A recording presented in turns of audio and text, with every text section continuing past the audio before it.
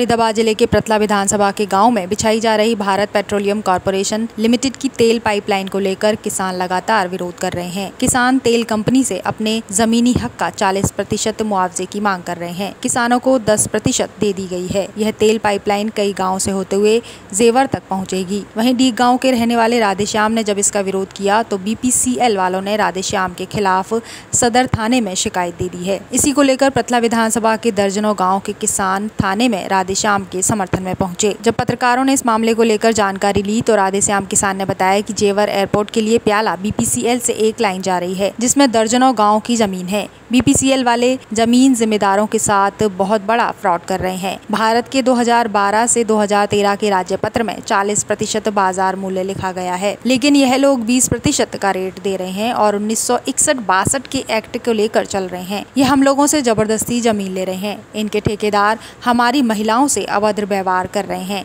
जब हमने रोकने की कोशिश की तो हमारे खिलाफ थाने में शिकायत दे दी है। इसी को लेकर सारे किसान आज थाने में पहुँचे हैं कि हमारी ज़मीन का मुआवजा बढ़ा दिया जाए।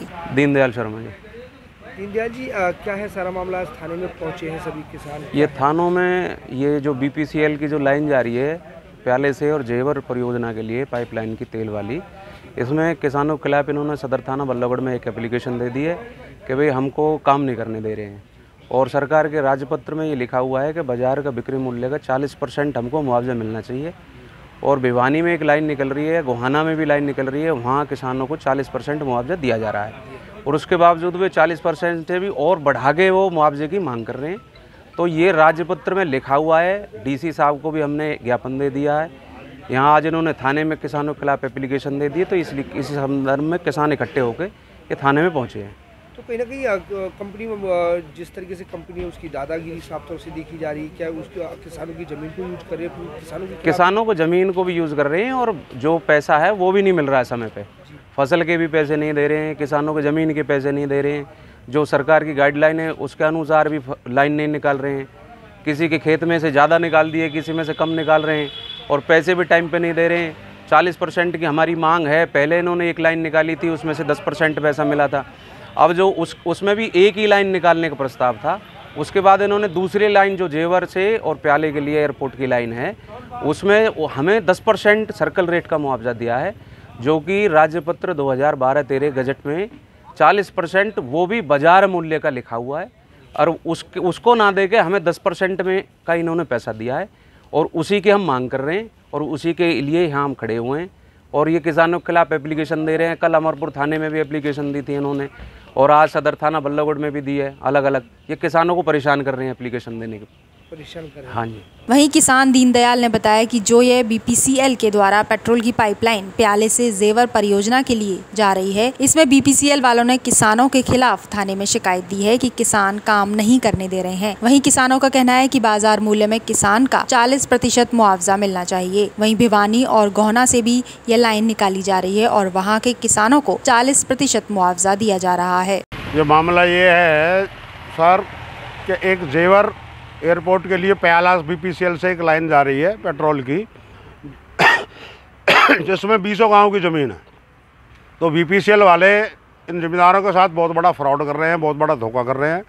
भारत के 2012-13 के राजपत्र में 40 परसेंट बाज़ार मूल्य का लिखा गया है। लेकिन ये लोग 20 परसेंट कलेक्टर रेट का दे रहे हैं। और उन्नीस सौ के एक्ट को लेकर के ये चल रहे हैं। जबकि उन्नीस सौ के एक्ट में भी बाज़ार मूल्य का लिखा गया है। ना कि कलेक्टर रेट का। और अब ये ज़बरदस्ती हम लोगों से लाइन ले जा रहे हैं। हमारी लेडीज़ों के साथ अभद्र व्यवहार करते हैं इनके ठेकेदार, इनके कर्मचारी। हमसे भी लड़ने उठने के लिए तैयार होते हैं। जब हमने इनको रोकने का प्रयास किया है तो फिर ये लोगों ने अब कंप्लेंट करनी शुरू कर दी है। कल अभी अमरपुर चौकी में हम हाजिरी दे के आए सभी गाँव के किसान। बलई थंतरी असापुर पहलादपुर डीग सागरपुर, कोलैना, जलाका, ककड़ीपुर, जवा सब गाँव के आदमी कल अमरपुर थाने में बुला रखे थे साहब ने। आज बल्लागढ़ सदर में बुला रखे हैं। लेकिन ये लोग किसी बात को मान करके राज़ी नहीं है। जबकि डीसी साहब को हमने, पलवल डीसी साहब को एक सामूहिक ऐतराज़ दिया है तेईस दस दो हज़ार चौबीस को। और उसमें सामूहिक ऐतराज़ में सारी अपनी मांग लिखी हमने। उसके बाद छः ग्यारह दो हज़ार चौबीस को हमने सिटी मजिस्ट्रेट साहब पलवल के लिए हमने एप्लीकेशन दी। उन्होंने हमसे एक हफ़्ते का टाइम मांगा कि एक हफ़्ते में आपके मैटर को सॉर्ट आउट करूँगा कंपनी वालों से मीटिंग करके। लेकिन इन्होंने एक हफ़्ते का भी इंतज़ार नहीं किया। एक हफ़्ते से पहले इन्हें अमरपुर चौकी में दरखास्त दे दी। लड़ाई झगड़ा किया धंतरी वालों से हसापुर वालों से, और इधर आकर के मेरे नाम, राधेश्याम शास्त्री के नाम बल्लभगढ़ में आकर के सदर थाना में इन्होंने एक दरखास्त दे दी, जिसके लिए हम बहुत, सभी गाँव के किसान हैं, और इसलिए हमारी मांग ये है कि जो भी गजट के हिसाब से है बाज़ार मूल्य का 40 परसेंट है किसानों को दिया जाए। बहुमूल्य ज़मीन है ये हमारी। 2031 के मास्टर प्लान में भी ये ज़मीन है। और इस ज़मीन में से जब ये लाइन निकल जाती है ना तो कोई नहीं सुनता। फिर इसमें खूटा भी ना गार्डन देंगे खरीदने की बात छोड़ो। तो राधे श्याम के खिलाफ राधे श्याम बुद्धि का।